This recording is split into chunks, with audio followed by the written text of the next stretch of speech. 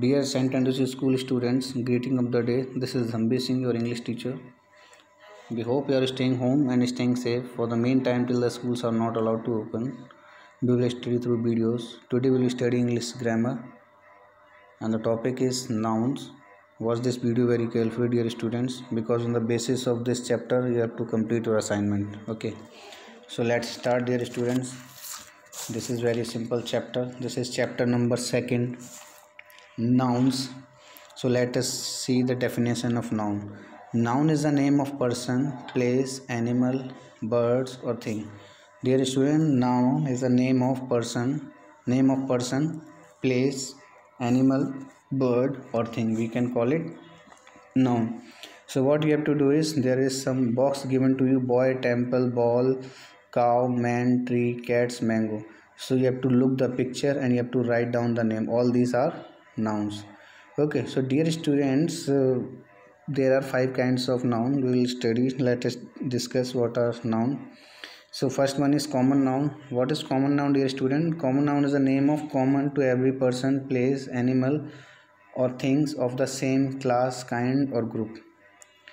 Common to as a name suggests common to every person place animal or thing of same class.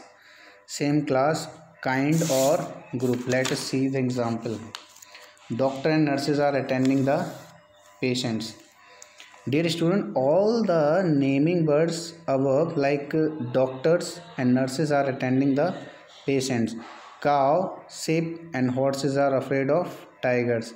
Apples bananas orange and mangoes are juicy fruits. Temple church and mosque are place of worship. So dear students if you if we see the names of person animals things and places which are common to the same kind or group therefore they are called common nouns. Okay. Now second one is proper noun. Proper noun means if we mention the proper place thing or a person it will refers to proper noun. And uh, the rule is it will begin with capital letter. A proper noun always begin with a capital letter. Now dear students if we see today is 26 january this is an example. 26 january there are so many days are there but 26 january if we mention 26 january is our republic day. So that's why republic day in delhi on television okay? Today is 26 january. We will see republic day parade in delhi on television. So here the specific date is mentioned 26 month is also mentioned january. There are so many dates. 26 is mentioned here dear students and there are so 12 months uh, out of it uh, january is mentioned so it will become proper. And uh, there are so many places in india and refer to delhi so it means proper places also mentioned here. That's why we'll call it proper noun okay so above names of particular place and things therefore they are called proper noun. Now let's move to collective noun dear students. I hope you understood. Proper means proper month proper date proper place like 26 its date proper date. Delhi is a proper place and rashtrapati bhavan is, a, is also place proper place. Okay so name of particular person place or things refer to proper noun now collectivist if we give the name to group of person or things it will become collective. For example if you are reading in class third and uh, your all the students if i sitting together i'll call him call them class third. Class class means a group of students. And then if we take the second example uh, suppose army a group of soldiers refer to army then if we are playing a cricket match suppose we are playing cricket match and uh, there are 11 players. If we combine them it will become team. So we can call it team. So and if uh, lots of keys are there and we collect them it will become bunch. Bunch means group of key will become bunch.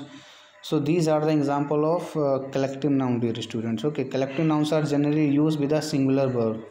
Okay so let's see the example an army of a soldier passing their street. Here army is collective noun. Now second one is our cricket team scored well in the match. Your team is collective noun. So collective nouns is collection of collection or group of persons or things.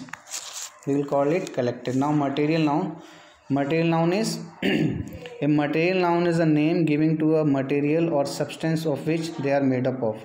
Okay like uh, chair. Chair is made up of wood. It is example of material noun. Now ring. Ring is made up of diamond. So we will call it material noun. Then dress. Saris are made up of silk or cotton. So we can call it material. So here diamond silk cotton all these are the example of material. Material you know the substances or material out of which the things are made so i hope you understood. There are five kinds of nouns four kinds of noun. So let us discuss the last one that is abstract noun. Now dear student what is abstract noun? Abstract noun is a name given to some idea quality feeling or action. We can't see it but we can feel it only. So th that is abstract noun. It is a basically quality feeling or action. Like health laughter courage. The words health laughter courage stands for a state of feeling action or a quality. Okay courage is quality laughter is action and health is your if your health is your feeling you are feeling good health. So these are the example of abstract noun. If we see the definition of abstract noun an abstract noun is a name of given a name given to some idea quality feeling or action. Dear students there are some countables noun and uncountables noun too. The nouns which we can count or tell their names are called countable for example books city watch girl etc this we can call but some, there are some things which we cannot count like water air gold cotton heat. It means the nouns which we can count easily they are known as countable nouns and the nouns which we cannot count their quantity okay? They they are known as uncountable nouns. For example water we count can't calculate. Air how can we count the air? Gold how can we count? Cotton we can't count. Heat we can't count okay so these are the example of countable and non-countable. Dear students in this chapter we discuss the definition of noun and there are five kinds of noun. Five kinds of noun are common proper collective material and abstract noun. So what you have to do is dear students from the starting of this video watch this video again fill this in your book then write down the definition along with example in your notebook and then what you have to do is first of all like noun write down the noun is the name of place person place. And example you can write out of this any two example. Then kind of noun write down first common noun definition from here. Then second one proper noun definition from here along with one example. Then third one collective noun example from this. And the fourth one is material noun example from it and the fifth one is abstract noun. Write down the example from it. Okay. Then you have to complete let us revise. You have to complete this. Solomon is a known for his wisdom. The color word is what is solomon? It's the name of a person. What is this? You have to write this. Okay. Now in the second question pick out the noun from the following sentences and put them under the proper leads boxes.